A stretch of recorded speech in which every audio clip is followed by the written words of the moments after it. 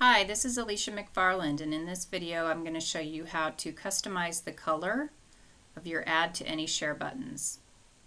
First thing you want to do is go to the blog post and copy this code right here.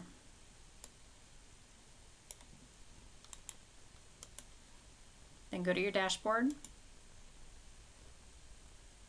go down to your settings, select Add To Any,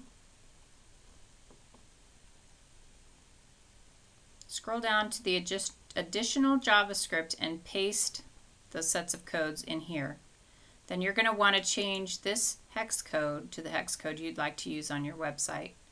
And it doesn't have to be the same color on each thing. I used a little bit of white here around the borders and the background just to break it up a bit so that it looked pleasant.